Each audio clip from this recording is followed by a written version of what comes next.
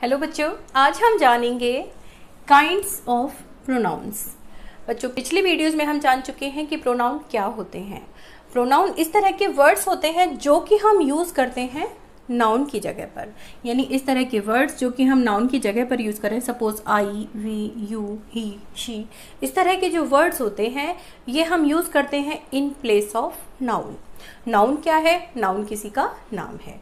अब हम इसके लिए एक एग्ज़ाम्पल लें। सपोज़ हम यह कहें कि मीना एक अच्छी लड़की है। Meena is a good girl she always her parents यानी वह हमेशा अपने पेरेंट्स को ओबे करती उनकी बात मानती है। तो यहाँ पर हमने सेकेंड टाइम जब मीना के लिए दूसरी बात बोली सेकेंड सेंटेंस बोला तो हमने मीना की जगह पर यूज़ किया शी तो शी जो हमने वर्ड यूज़ किया, वह क्या है? प्रोनाउन और मीना क्या है? मीना जो है, एक नेम है, जो कि है नाउन और शी क्या है? प्रोनाउन तो यहाँ पर हम समझ सकते हैं कि प्रोनाउन इस तरह के वर्ड्स होते हैं जो कि नाउन की जगह पर यूज़ किए जाते हैं। तो प्रोनाउन के हमने कुछ वर्ड्स पिछले वीडियोस में जाने थे। I we you they he she it इस तरह के वर्ड्स होते हैं। आज की वीडियो में हम जानेंगे इनके अलावा और कौन कौन से वर्ड्स इस तरह के होते हैं जो कि हम प्रोनाउन की तरह जिनको यूज़ कर सकते हैं।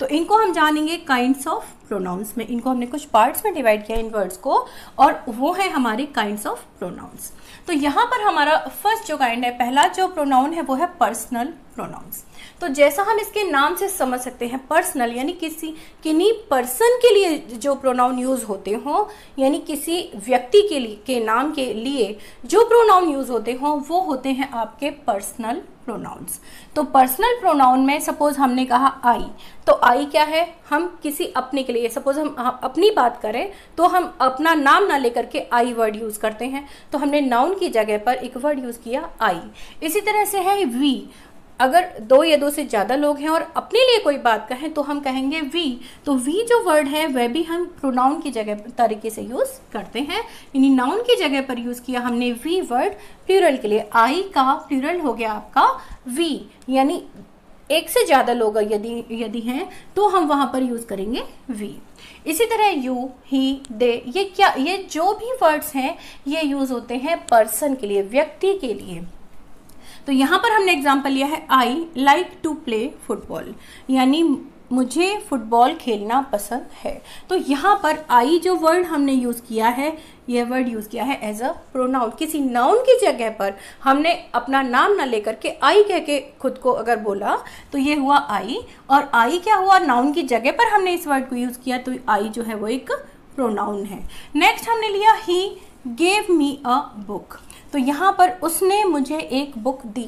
तो उसने तो हमने नाम नहीं लिया, लेकिन किसी के, किसी पर्सन के बारे में बोला कि ही तो यहाँ पर जो ही वर्ड है, वो क्या है? प्रोनाउन है, और इसको हमने यूज़ किया है किसी पर्सन के नेम की जगह पर। तो यहाँ पर हुआ ही एक pronoun gave me a book उसने मुझे एक बुक दी। तो किसको बुक दी? मुझे। तो मैंने अपना नाम नहीं लिया, बल्कि मैंने कहा, मी। तो यहाँ पर जो मी वर्ड है, वह भी एक नाउन की जगह पर यूज़ हुआ है। तो यह भी एक प्रोनाउन है। तो इस तरह के वर्ड्स जो कि किन्हीं पर्सन के लिए हम यूज़ करें in place of noun pronoun की तरह से इनको हम यूज़ करें इन वर्ड्स को तो वो होंगे हमारे पर्सनल प्रोनाउन जिनकी डिटेल हम नेक्स्ट वीडियो में जानेंगे।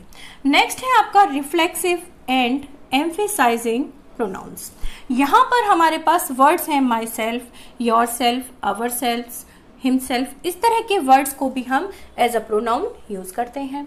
तो इनको हम किस तरह यूज़ करते हैं, इनको हम समझेंगे। यहाँ पर हमने एग्ज़ाम्पल लिया he painted the house himself तो उसने अपना घर हिमसेल्फ यानी खुद। यहाँ हिम सेल्फ यानी सेल्फ का मतलब है खुद या स्वयं। तो अगर हमने कहा माई सेल्फ यानी मैंने खुद या मैंने स्वयं। योर सेल्फ यानी तुमने खुद या तुमने स्वयं। अवर सेल्फ यानी हमने खुद या हमने स्वयं। या हिम सेल्फ उसने खुद या उसने स्वयं इस तरह से इनका मीनिंग हुआ और यहाँ पर हम इन वर्ड्स को जब यूज़ करते हैं तो इनको हम एज अ प्रोनाउन यूज़ करते हैं किस तरह से? यह he painted the house himself उसने अपना घर खुद पेंट किया। तो यहाँ पर जो हिम सेल्फ वर्ड है, वह है आपका रिफ्लेक्सिव प्रोनाउन और ही आप हम पिछले जो सेंटेंसेस हैं, इनमें जान चुके हैं। ही क्या है आपका? पर्सनल प्रोनाउन और हिमसेल्फ है यहाँ पर रिफ्लेक्सिव प्रोनाउन नेक्स्ट हम देखें I clean my shoes myself यानी मैंने अपने शूज़ खुद साफ़ किए। तो यहाँ पर जो माई सेल्फ वर्ड है, वह यूज़ हुआ एज अ रिफ्लेक्सिव प्रोनाउन अब हमने यहाँ पर दो टर्म्स यूज़ किए हैं रिफ्लेक्सिव और एम्फेसाइजिंग तो रिफ्लेक्सिव तो आपका सिंपल हो गया he painted the house himself यानी उसने खुद अपना घर साफ़ किया, उसने अपना घर खुद साफ़ किया। इस तरह से हो गया आपका। अब एम्फेसाइजिंग में क्या होता है कि हम इनिवर्ड्स को यूज़ करेंगे, लेकिन जब हमें इस चीज़ पर ज़्यादा ज़ोर देना हो कि हमने उस कार्य को खुद किया, उस चीज़ को खुद किया है तो हम उसके लिए यूज़ करते हैं एम्फेसाइजिंग प्रोनाउंस जिनमें वर्ड्स तो सेम रहेंगे, लेकिन इनको यूज़ करने का जो तरीका है वो बदल जाएगा। यहाँ पर हमने एग्ज़ाम्पल लिया he himself painted the house यहाँ पर हमने लिया था he painted the house himself और जब हमने इस हिमसेल्फ को यूज़ किया आफ्टर द सब्जेक्ट यहाँ पर ही के बाद में, तब इसका मीनिंग क्या हुआ? तब इसका मीनिंग हुआ he himself painted the house यानी उसने खुद अपना, उसने खुद अपना घर पेंट किया, उसने खुद घर को पेंट किया। तो यहाँ पर उसने ज़ोर देते हुए कहा है कि मैंने खुद ही यह कार्य किया है। यहाँ पर उसने इस चीज़ को कहा है कि मैंने अपना घर खुद पेंट किया। यहाँ पर यह भी हो सकता है कि उसने किसी की हेल्प ली है या अपनी बात को थोड़ी उसने कमज़ोरी से कहा है यानी उसने एक नॉर्मल वे में कह दिया कि उसने खुद अपना घर पेंट किया। यहाँ पर उसने इस बात पर ज़ोर देते हुए बोला है he himself painted the house उसने अप, उसने खुद अपना घर पेंट किया। तो यहाँ पर उसने हिमसेल्फ कह करके, यानी यहाँ पर नाउन के जस्ट आफ्टर जब हिमसेल्फ लगा तो यहाँ पर इस चीज़ से हमारा क्या यूज़ हुआ? यहाँ पर यूज़ हुआ कि हमने हिमसेल्फ को यूज़ किया अपनी बात पर ज़ोर देने के लिए, इस बात को फोर्सफुली कहने के लिए कि हमने खुद इस कार्य को किया है। I myself clean my shoes यहाँ पर दोनों सेंटेंसेज हैं। I clean my shoes myself यानी मैंने अपने शूज़ खुद साफ़ किए, एक नॉर्मल वे हो गया। और यहाँ पर जब हमने कहा I myself clean my shoes यानी मैंने स्वयं मैंने खुद अपने शूज़ साफ़ किए तो इस पर हमने क्या है? ज़ोर दिया है। तो इस तरह के जो सेंटेंसेस हैं, जिनमें अपनी बात को फोर्सफुली कहा जाए, इस चीज़ को कहने के लिए कि मैंने खुद इस कार्य को किया, या उसने खुद, उस कार्य को किया, या तुमने खुद वहाँ गए तो या तुमने खुद झूठ बोला, इस तरह के जो वर्ड्स होते हैं, इस तरह के सेंटेंसेस हैं, वो होंगे आपके एम्फेसाइजिंग प्रोनाउंस और जो वर्ड्स हैं, इनमें सेम ही यूज़ होते हैं।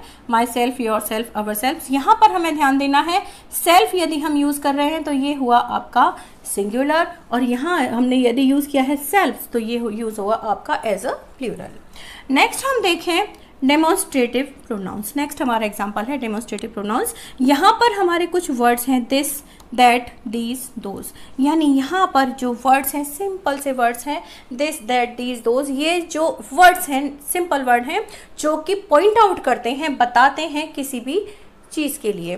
किसी भी सपोज़ हमने कोई भी आर्टिकल लिया सपोज़ हमने पेंसिल ली बुक ली बैग लिया, या फ्लावर है, कोई भी आर्टिकल है, कोई भी पर्सन है, जिनको हमें पॉइंट आउट करना है, हम पर्टिकुलर उसके बारे में बात कर रहे हैं तो हम यूज़ करेंगे दिस दैट दिस दोज इनमें एक विशेष बात यह भी होती है कि दिस यूज़ होता है हमारे नज़दीक की चीज़ों के लिए, जिनके बारे में हम बताना चाहते हैं, और दैट यूज़ होता है आपके जो दूर की चीज़ें होती हैं डिस्टेंस पर जो चीज़ें हैं, उनको अगर हम बताना इंडिकेट करना चाहते हैं पॉइंट आउट करना चाहते हैं तो उसके लिए हम यूज़ करते हैं दैट और दीज और दोज इनको हम यूज़ करते हैं एज अ प्लूरल दिस का प्लूरल यदि हम बताना चाहते हैं तो दीज और यदि दैट का प्लूरल यदि हम बताना चाहते हैं तो दोज यहाँ पर हमने एग्ज़ाम्पल ली है दिस इज़ माई पेंसिल यानी यह मेरी पेंसिल है.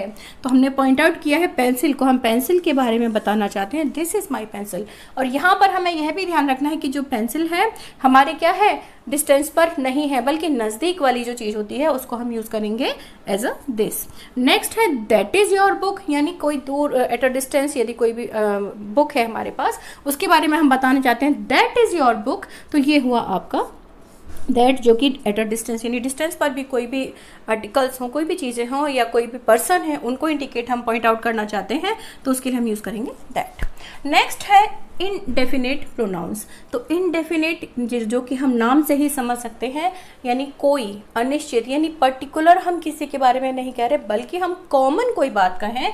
यहाँ हमने एग्ज़ाम्पल लिए हैं इनके some one few all many everyone इस तरह के जो वर्ड्स हैं, वो हम यूज़ करते हैं इनडेफिनेट प्रोनाउंस में। तो यहाँ पर हमने एग्ज़ाम्पल लिया है one can not believe it यानी कोई भी इस पर बिलीव नहीं करेगा, विश्वास नहीं करेगा। तो यहाँ पर जो वन है, वह है आपका इनडेफिनेट प्रोनाउन क्योंकि हमने एक पर्टिकुलर किसी के बारे में बात नहीं करी, बल्कि एक कॉमन या जनरल एक बात कह दी।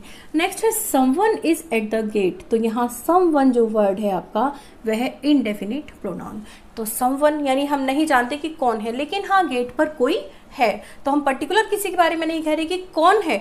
हमने सिंपल कहा someone is at the gate यानी दरवाजे पर कोई है। तो यहाँ समवन जो है एक इनडेफिनेट प्रोनाउन हुआ। नेक्स्ट हम लेते हैं डिस्ट्रीब्यूटिव प्रोनाउंस तो डिस्ट्रीब्यूटिव प्रोनाउंस की विशेष बात यह होती है कि इसमें हम क्या करते हैं कि दो या दो से ज़्यादा हमारे पास पर्सन प्लेस आर्टिकल्स थिंग्स इस तरह की चीज़ें हो सकती हैं। और जिनमें से हम क्या करते हैं कि किन्हीं एक के बारे में, यानी हम डिस्ट्रीब्यूट करते हुए चीज़ों को, यानी सिंगुलर की तरीके से हम उनको यूज़ करते हैं। किस तरह से? यहाँ पर हम इनको, हमने एग्जांपल लिए हैं ईच आइदर नाइदर तो इस तरह के वर्ड्स हैं जो कि हम डिस्ट्रीब्यूटिव प्रोनाउंस में यूज़ करते हैं। तो यहाँ हमने एग्ज़ाम्पल लिया है each of the boys has a book यानी प्रत्येक लड़के के पास में बुक है। तो यहाँ पर हमने जो बॉयज़ हैं, वो एक से ज़्यादा हैं और इनमें से हमने कहा है प्रत्येक, यानी हर एक के पास एक, हर एक के पास बुक है। तो हमने यहाँ पर क्या किया है? कई सारे लोगों में से, कई सारे स्टूडेंट्स में से, कई सारे बॉयज़ में से हमने प्रत्येक के लिए पर्टिकुलर हर एक के लिए बात कही। तो इस तरह से बना आपका डिस्ट्रीब्यूटिव प्रोनाउन यहाँ पर हमें ध्यान देना होगा क्योंकि जो बॉयज़ हैं, उनमें से हम हर बच्चे के लिए कह रहे हैं कि उनके पास बुक है। हर बच्चे के लिए, हर लड़के के लिए हम बोल रहे हैं कि उनके पास बुक है तो इसको हम रख, रखते हैं एज अ सिंगुलर यानी यहाँ पर जो हमने हेल्पिंग वर्ब यूज़ की है, वो सिंगुलर है तो डिस्ट्रीब्यूटिव प्रोनाउंस में क्योंकि जो बात है, वो पर्टिकुलर हर व्यक्ति के लिए अलग अलग कही जाती है तो इनको हम रखते हैं हमेशा सिंगुलर में. यानी जब भी हमारे पास इस तरह के वर्ड्स हों ईच आइदर नाइदर तो उनको जब भी हम वहाँ पर हेल्पिंग वर्ब या वर्ड्स यूज़ करेंगे तो वो हमेशा सिंगुलर में होगी, क्योंकि हम वहाँ पर्टिकुलर हर व्यक्ति के लिए, हर थिंग के लिए, हर पर्सन के लिए हम अलग अलग बात को कहते हैं। हम नेक्स्ट एग्जांपल लेते हैं। Neither of the pens writes well यानी पेन्स में से जो जो हमारे पास पेन है, उनमें से कोई भी अच्छे से नहीं चल रहा। तो यहाँ पर जो पेन है, वो एक से ज़्यादा हैं, दो भी हो सकते हैं। और नाइन तो इनमें से कोई भी पेन नहीं चल रहा, यानी हम हर पेन के लिए अलग अलग बात करें कि इनमें से कोई भी अच्छे से नहीं चल रहा। तो जो नाइदर आपका वर्ड है, ये हुआ आपका डिस्ट्रीब्यूटिव प्रोनाउंस नेक्स्ट है इंटेरोगेटिव प्रोनाउंस हमारे पास कुछ इस तरह के वर्ड्स होते हैं जो हम क्वेश्चन करने के लिए क्वेश्चन पूछने के लिए जिनको हम यूज़ करते हैं। तो यहाँ हमने एग्ज़ाम्पल लिए हैं वॉट हु विच होम इस तरह के वर्ड्स जो कि हम क्वेश्चन करने के लिए यूज़ करते हैं, इनको हम कहते हैं इंटेरोगेटिव प्रोनाउंस यहाँ पर हमने एग्ज़ाम्पल लिए हैं विच इज़ योर बुक यानी तुम्हारी बुक कौन सी है। तो यहाँ विच जो वर्ड है, वो क्वेश्चन पूछने के लिए यूज़ किया गया है। तो इसको हम कहेंगे इंटरोगेटिव प्रोनाउन तो विच जो वर्ड है वह इंटरोगेटिव प्रोनाउन हुआ।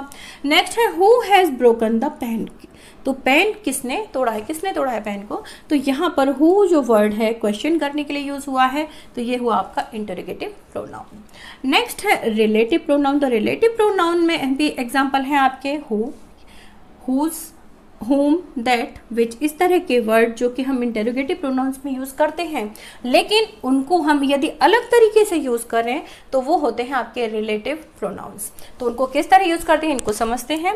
यह there was a king who lived in a palace तो देयर वॉज़ अ किंग एक राजा था who lived in a palace जो कि तो यहाँ पर हु जो, जिसका मतलब होता है कौन या किसने। तो यहाँ पर हमने जब बीच में, यानी दो सेंटेंसेस को हमने जोड़ा, किसकी हेल्प से? Who whose whom that which तो इनका जो मीनिंग है, वो चेंज होता, हो जाता है। जैसे हु जिसका मतलब होता है कौन। लेकिन जब हमने दो सेंटेंसेस को ज्वाइन करने के लिए, जोड़ने के लिए, इस वर्ड को यूज़ किया तो इसका मतलब हुआ जो कि इसी तरह हुज यानी किसका और यहाँ पर हमने यूज़ किया जब दो सेंटेंसेस को जोड़ने के लिए तो इसका मतलब हुआ जिसका या जिसके। तो इस तरह से जो इंटरोगेटिव प्रोनाउन वाले जो वर्ड्स होते हैं, इनको हम जब भी दो सेंटेंसेस को जोड़ने के लिए, बीच में ज्वाइन करने के लिए यूज़ कर रहे हैं तो इनका मीनिंग इस तरह से चेंज हो जाता है और ये होते हैं आपके रिलेटिव प्रोनाउंस तो बच्चों, आज की वीडियो में हमने जाना काइंड्स ऑफ़ प्रोनाउंस जिसमें कि हमने personal reflexive demonstrative indefinite distributive interrogative और रिलेटिव यानी इन प्रोनाउंस के बारे में जाना. और इससे भी ज़्यादा हमको क्या समझना है कि कौन कौन से वर्ड्स हैं जिनको हम एज अ प्रोनाउन यूज़ कर सकते हैं. नेक्स्ट वीडियोस में हम इन्हीं प्रोनाउंस के बारे में डिटेल में जानेंगे कि कौन कौन से केसेस में कौन कौन से वर्ड्स को हम यूज़ करते हैं.